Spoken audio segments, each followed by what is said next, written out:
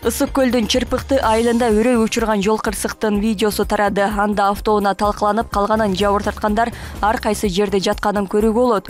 Күбөлөр билдиргендей жол кырсыгынан он эки он төрт жаштагы үч өспүрүм каза болду. Ысык көл облусунун жол кыймылынын коопсуздугун камсыздоо башкы башкармалыгы маалыматты кийинчерээк тактап берерин убадалады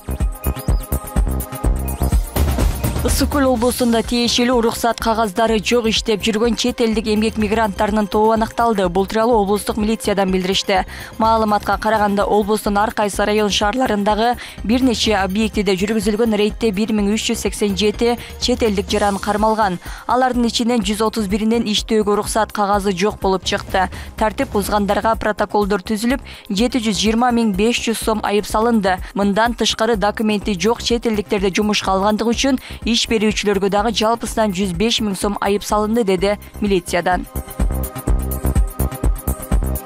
мындан ары жарандар жол эрежесин бузгандардын видео сүрөттөрүн кабарлай алат бул тууралуу жол кыймылы коопсуздугун камсыздоо башкы башкармалыгы маалымдады анда ноль жети жүз жетимиш жети жүз эки жүз эки номерине кайрылса болот. Жарандар көчөлөрдө туура эмес токтотулган унааларды жол тыгындарын кырсыктарды мас айдоочуларды жана башка жол эрежесин бузган фактыларды көрсө түз ушул номерге сүрөт жана видео менен жөнөтүп койсо болот.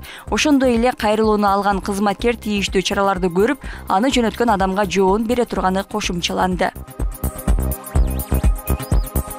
ушул жылдын апрель жана май айларында жаан чачындын көп болушунан улам сугат мезгилинде даярдалган мамлекеттик ирригациялык объектилер кыйроого учурады. Бул тууралуу айыл чарба министрлигинен билдиришти билдирмеге ылайык жалпысынан республика боюнча ирригациялык отуз үч объект бузулган. Бул абал мамлекеттик ирригациялык системаны он үч бүтүн ондон алты миллион сомдук зыянга алып келген. Суу ресурстары кызматынын карамагындагы түзүмдүк бөлүмдөр кыйроого учураган объектилерди калыбына келтирүү ишин жүргүзүп жатат.